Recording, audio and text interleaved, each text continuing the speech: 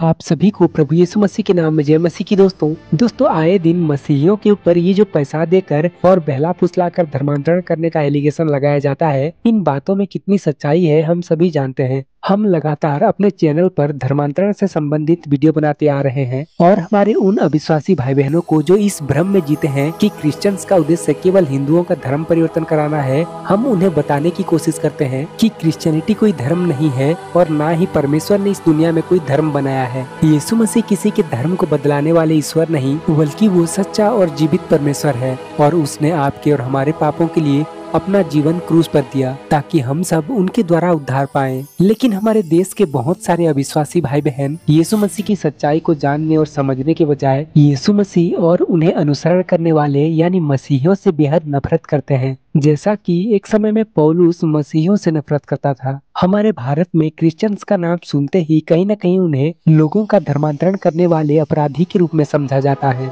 दोस्तों, अभी मैं आपको एक वीडियो दिखाने जा रहा हूँ, जिसमें एक महिला पत्रकार झारखंड के एक आदिवासी व्यक्ति से सवाल करती है कि क्रिश्चियनिटी को कबूल करने से आपको क्या मिला? तब उस व्यक्ति ने कहा कि मैं पागल हो गया था इधर उधर दौड़ता रहता था। फिर जब मैं क्रिश्चियनों के पास गया तो उन्होंने मेरे लिए प्रार्थना की और अब मैं ठीक हूँ।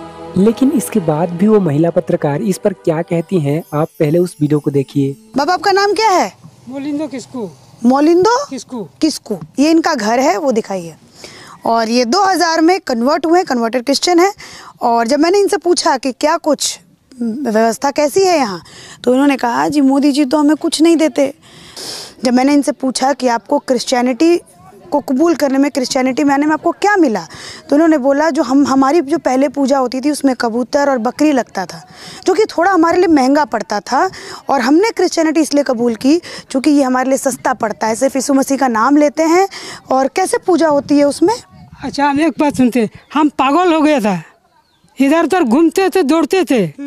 तो क्रिश्चियन के गए तो हमको बपतिस्मा दिया तो हमारा छुटकारा मिला। छुटकारा मिल गया। कुछ नहीं दिया। जैसे वो रील देखना ना वो बोलने लगी। तो वैसा ही सिस्टम यहाँ पर भी। अब सोचिए इन लोगों की एजुकेशन और इन लोगों का हाल किस तरीके से ये लोग रहते हैं। है। दोस्तों, पहली बात, इस आदिवासी व्यक्ति ने कहीं पर भी ये नहीं कहा कि मुझे क्रिश्चियनिटी को कबूल करने के लिए कोई पैसे दिए गए। लेकिन फिर भी ये पत्रकार महोदया उस व्यक्ति के घर को दिखाते हुए कहती हैं, ये दो हज़ार रूपए में कन्वर्ट हुए क्रिश्चियन है। देखिए, इससे एक बात तो साफ़ है, हमारे देश के अधिकतर बड़े बड़े न्यूज़ चैनल बीजेपी और आरएसएस को सही बताने और क्रिश्चियनों को गलत साबित करने के लिए उनके खिलाफ झूठी खबरें फैलाते हैं। और दूसरी बात, इस महिला पत्रकार ने कहा कि इन्होंने क्रिश्चियनिटी को इसलिए कबूल किया क्योंकि उनकी जो पहले पूजा हुआ करती थी, उनमें कबूतर और बकरी लगते थे जो कि काफ़ी महँगे होते थे। लेकिन क्रिश्चियनिटी में सस्ता होता है, क्योंकि केवल यीशु मसीह के नाम से प्रार्थना किया जाता है। देखिए, झारखंड तथा किसी भी जगह के ग्रामीण और दुर्गम अंचलों में रहने वाले आदिवासी लोग अपने जिस भी देवी देवताओं की पूजा करते हैं, उन्हें जानवरों की बलि देते हैं, यानी उन्हें खून चढ़ाते हैं। और जैसा कि इस व्यक्ति ने अपने जीवन के बारे में बताया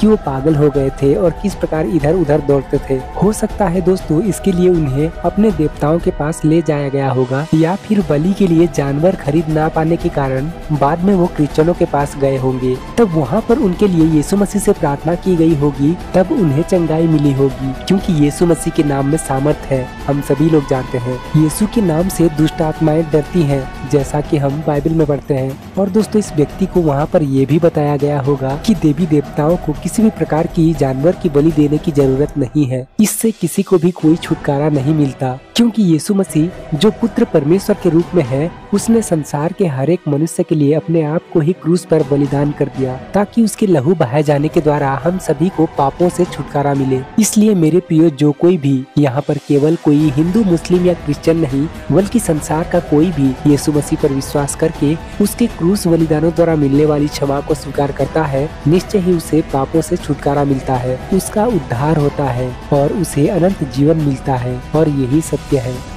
आई होप दोस्तों आपको ये छोटा सा वीडियो पसंद आया होगा। वीडियो पसंद आया तो लाइक करें और चैनल को सब्सक्राइब ज़रूर करें। मिलते हैं एक और नए वीडियो के साथ। परमेश्वर आपको हमें संभाल कर रखे। आमीन।